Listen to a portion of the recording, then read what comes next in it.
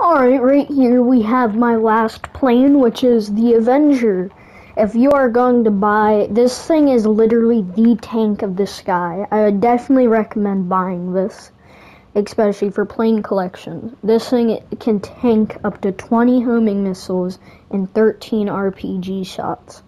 So yeah, definitely recommend buying. It has a back, you can store a vehicle there if you decide to buy that that thing. It can also have a weapon workshop, turret guns, all that good stuff. So yeah, definitely would definitely would recommend buying this if you have the money to buy a facility and also this.